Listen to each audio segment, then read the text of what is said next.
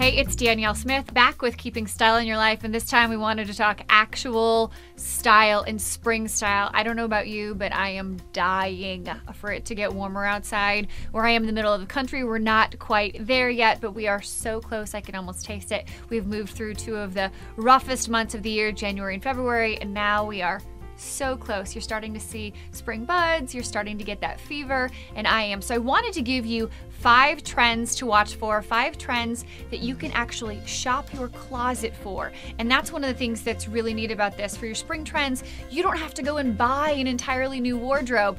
You might want to update with a few things, but a lot of the trends, you can head right to your closet. So I wanted to give you an idea of what those are. Number one, black and white. Black and white is a really, really big thing this year. It's classy, it's in style, it's one of those things that's truly a classic thing. I pulled out a black and white dress that I have that's already in my closet, and this black dress that I have here, I have had for I don't even know how many years, but it's great to know that it's still in style.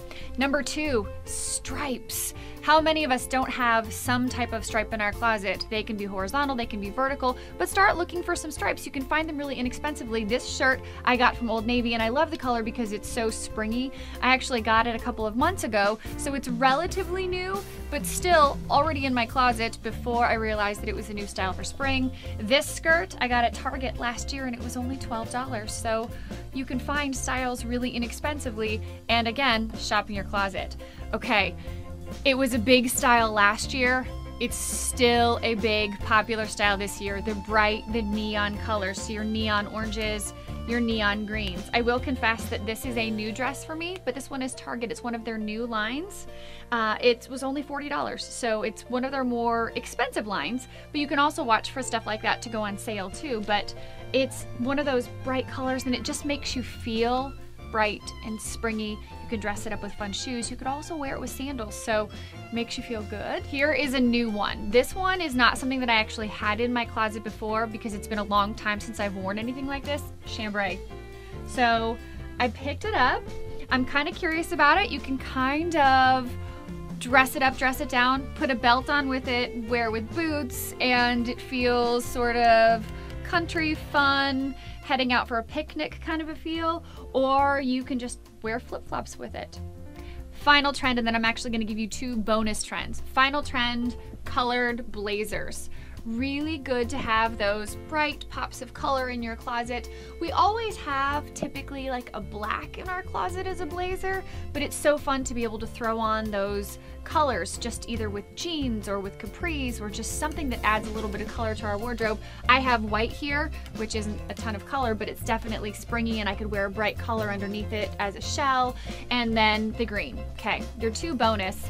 Pantone's color of the year, this green color, this green color. So anything that you have in this green color is great for this year. So I have it in dresses, you could have it in jewelry, you could have it in shoes, you could wear it in shorts or in tops. But it is such a great color to have in your wardrobe and it's one of those colors that looks so good on so many different people. So keep that in mind. And your final bonus, because I've already done five, the green is a, is a bonus. This is your other bonus, the color that I'm wearing right now. Taupes in light grays, very popular this year as well. And you can wear these either in a full color, so you could be wearing a sheer shirt that has a, a taupe color to it, or you could wear something that's got the pattern. So this has the stripy sort of zebra-ish print to it, but it's subtle enough that it just is something, again, that I could dress up or dress down.